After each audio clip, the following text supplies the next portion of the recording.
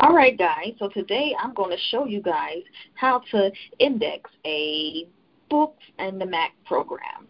So again, I am going to use Adobe InDesign and also I am going to uh, be talking a little bit uh, from Microsoft Word. So I'm going to be using Adobe InDesign and Microsoft Word and I have a Mac. So in the beginning, you see this uh, program called TExtract. All right, and I used to use TExtract. I spent, you know, about four hundred dollars, and I invested in this program to last me a lifetime. Well, when I got the MacBook, you know, this program doesn't work. It does work if you want to buy uh, Parallels, a program called Parallels. But I just said no. I'm just okay. I cut my losses. So I've been doing a lot of research, and I've been trying to find different index programs but to be honest, it's not like TExtract because TExtract allows you to use a PDF file and then it'll generate a list for you and you can select what you want. You can export it into a Microsoft Word document. All right. So again, I use uh, Adobe InDesign for all of my books. I format all of my books. So this is a book that I'm currently working on that is getting ready to be published by me. All right, so I'm going to show you the process. So again, if you cannot find a good index program, if you don't want to invest the money, because I looked at one and one was like $900, and I was like, it's not worth it. All right, so I'm going to show you what to do. So, you guys, what you do in the beginning, um, I'm going to show you uh, and how it's going to look like. Okay, so if you want to index, you look no further. This is awesome a tool for you guys to use. All right, so you see I generated an index uh, list and that yours will look just like this when you get done if you follow these steps. It's really simple to do. I think it took me about an hour, you know, hour and a half to get this done. It was more time uh, consuming than usual with the TExtract program, but this is uh, another way you can do it. So just open up a new Word document. All right? And you want to open up your InDesign and you just want to select you know, the page and you see that I have 94 uh, pages in this book. All right, so I got to do this like 94 times. Okay, so select only on this page. Copy. All right, so I push Command C because I'm using the Mac, and then I push Command V to paste. All right, then you will want to uh, come up and you get ready to create a page break. So to create a page break, come to Insert, hit Page Break, and it's going to bring you to the next page.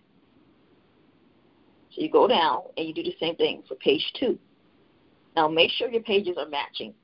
So copy or Control C, go back over to the Word document, and Control V to paste.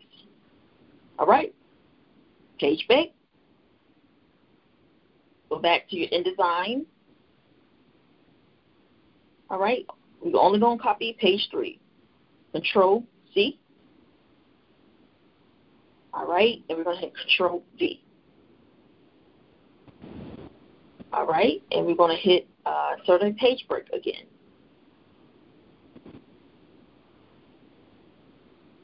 All right, so I'm going to just show you how it would look like instead of doing 94 pages again. So um, use what Microsoft Word offers. You go to References, and we're going to just start highlighting uh, the word generation here. So highlight generation.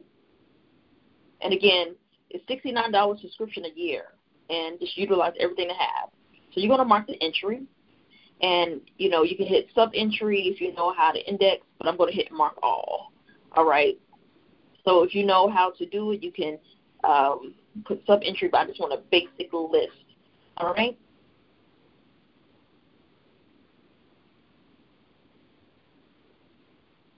Then I hit close. And as you can see, it marked it. Put, put an XE there. All right. And then we're going to find something else. Want to highlight leaders and mark entry. All right. Mark all. Then close. Then we're going to do the same thing again for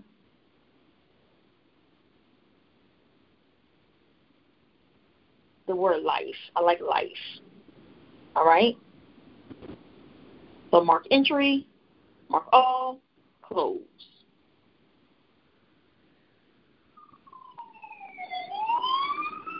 Mark entry, mark all, close.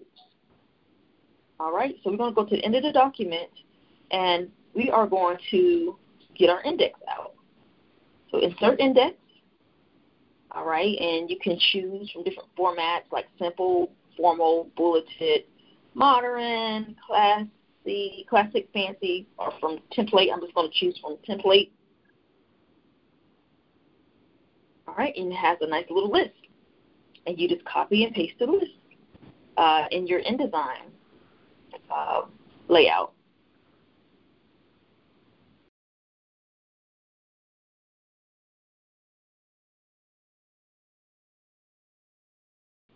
All right, it's really simple to do, you guys. All right.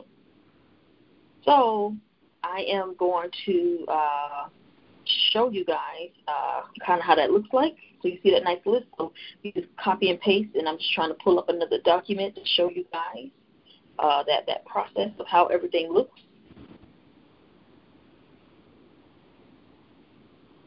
All right, so I'm going to come to the end of my book, which is like 94 pages. And before that, uh, you guys remember the index list I had, right?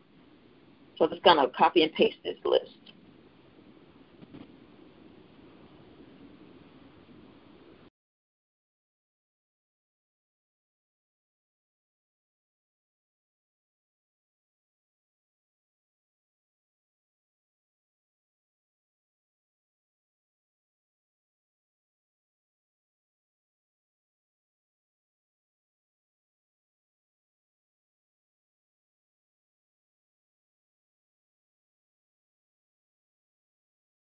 To open up another page uh, in my layout.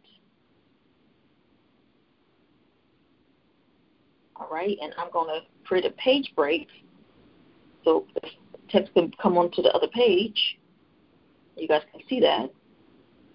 And I'm going to, in my paragraph cells, hit the normal body text.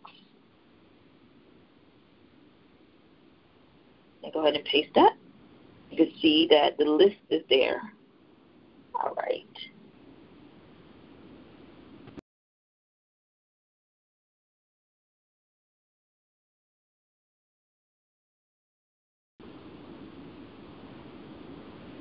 And just keep on creating new pages. All right. So you guys, it was uh, simple to do. It took a little bit more time versus uh, using TExtract but you can do this. It's a great investment if you have Adobe InDesign and if you have Microsoft Word and if you have a MacBook, you can do this technique. All right.